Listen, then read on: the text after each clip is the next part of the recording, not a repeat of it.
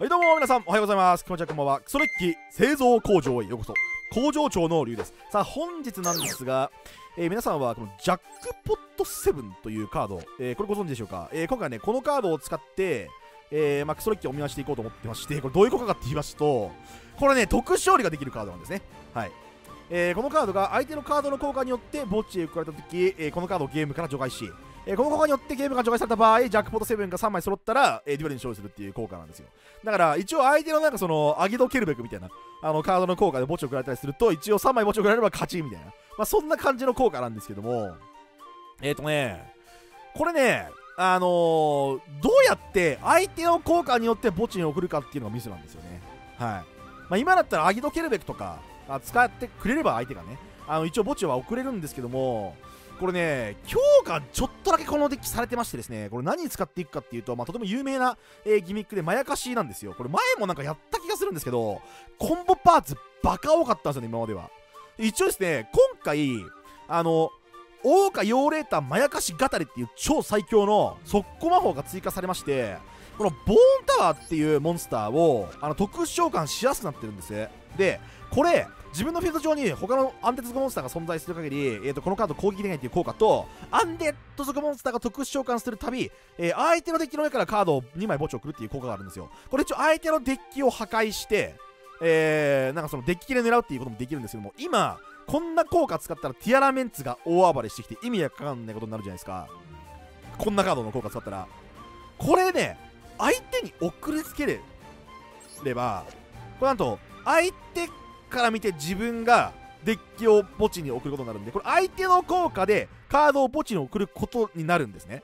でアンデッド族を特殊召喚しまくればいいんでこれが、えー、とまやかしととても相性が良くてこの階段式シンクロと。でそれに、えー、とぶっ壊れカードが追加されたことによってかなり成功率が上がっております。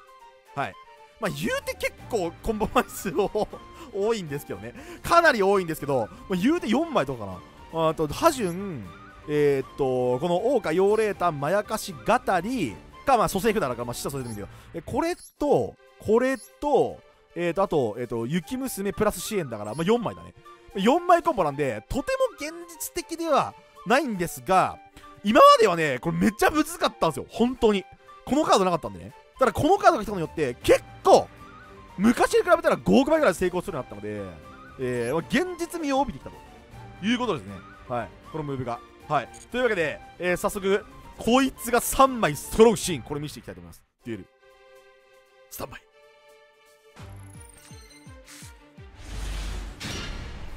あーこれはいけるけど相手の誘発がなければっていう条件だな。いやこれ一応半4枚コンボなんですよ。なんで基本決まんないんですけどこのハンドは一応コンボパーツだけはかき集めることはできていやこれなんもないと嬉しいんだけどな。マジで決まっこれ本当にこのご時世4枚コンボとかマジ決まるわけないから。うっ！あるね！なんもなさそうだよ相手。いやなんもなさそうですけど。愚かな埋葬発動は？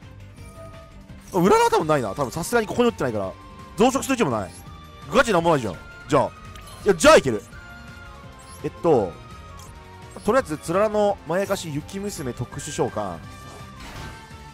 えっとでえっとボーンタワーちゃん後で蘇生するんでね、まあ、こっからはまた階段シンクロしていけばいいんだけどとりあえず階段シンクロしていく。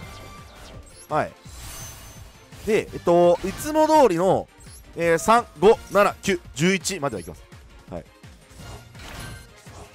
これでですね11をシンクロ召喚しますよって言ってでこの11のガシャドクロとかいうモンスターこの最強モンスターが闇属性となってましてでこのえっと速攻魔法のまやかしの蘇生札がアンデッド族何でも特殊召喚できるんですけど属性が同じじゃないといけないんですよね。なんでこれで、えっと、ボーンタワーを特殊召喚しますと。で、えっと、相手のデッキあの破壊すると今ティアラメンツが大暴れしてきてもう何もあのー気持ちよくなれないのでえ送りつけまして。送りつけましてでえー、あとはシンクロ召喚をしていくだけとなっております。いきましょう。さあ、えー、これがかまされると僕のデッキがどんどんどんどん墓地へ行きます。はい。えセルフデッキ破壊ですね。セルフセルフデッキ破壊。全デッキのカードをきたー! ちなみにこれあのー、サレンダーされるっていうパターンが ジャックポット7の特殊勝利演出を見ていかないかい。クソゲロナガ。ゲボナガ。ゲボナガソリティア階段シンクロを見せつけて見せつけた上でジャックポット7の演出も見ていかないかい。なんかあ相手なんかされサレンダーも何もしねえけど。ありがたいっすね。ジャックポット7とかの効果知らんかな。さすがに。知らない可能性はありますね。はい。あのー、こんなカードほど誰一人使ってないんでこれなんかこういう謎デッキ使ってるの多分僕ぐらいなんですよ。多分。なんで多分死んないからとりあえず見とくかみたいなことはあるかもしれません。てかこのねダッキのねなんかね3体いるとね必ず全員効いてくるのめっちゃうざいんだよね。フィールド上に1体しかいらないくせになんか全員効いてくるんですよね。めちゃくちゃうざい。でえー、っととりあえず、えっと、雪女の効果で、えー、蘇生しておくとあとはもう階段式シンクロが無限にできましてえっと3ですね。はい。3を特殊召喚して。でここからまた、えっと、5、7、9、11と。よしよしよしよし。全然落ちない。ちょジャックボス落ちろ。ちょ落ちろ落ちろ落ちろ。やばい。落ちろ早く。早く落ちろ。ちょ相手待たせてんだよ。申し訳ない。ちょっと対戦相手の方は本当に申し訳ございません。いや、いや、今からね、あの、あなたにね、あの素晴らしい特殊ー演出っていうのを見せて差し上げますのでね、少々お待ちください。ちょ、落ちなすぎやて。ややっと落ちたわ、マジで。おっせえな、お前。おっせえな。おい。おいハイパービッグボーナスはい謎の音楽流れました。専用 BGM ありがとう。いややっと決まったわ。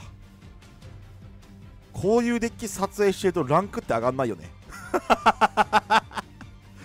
なんかあのー、皆さんあのランクマッチってまあどういうデッキで潜ってるかちょっと分かんないんですけどもなんか定期的にクソデッキを投稿してるじゃないですか僕って。なんかね気づいたら絶対にねダイヤ5とかプラチナ5になってるんですよね。はい。なんかランクってどうやって上げるんでしたっけ？ランクってどうやって上げるんでしたっけ？ちょランクの上げ方を教えてほしい。ちょあの誰かちょっと頼む。なんかやばいことしだしたぞ。ハルケショウとガジェットとかいうなんか絶望的な組み合わせきたぞこれ。あおっとなんか謎の謎の動き。うわーやばい。これなんか見たことある動きしてる気がするな。違うかな。えー、レベル5のモンスターが2体でオーバーレイしてるんですけどこれってあれですかね。レベル52体でなんかあのー、アーティファクトみたいなの出てきません？あやばいなこれ。あこれやばいかもしれん。普通にやばい動きしてるな。でブロックドラゴンが爆誕するのはいいや。ブロックドラゴンが爆誕するのはいい。エンドフェーズいいよ。はい。あっていうのがある。はいはいはいはいはい。いやこんだけ展開していってくのはあまりすぎな点もちょっとどうかと思いますけどねそのデッキ。はい。支援の感じできた。で私のえー、っとスタンバイフェーズにはい。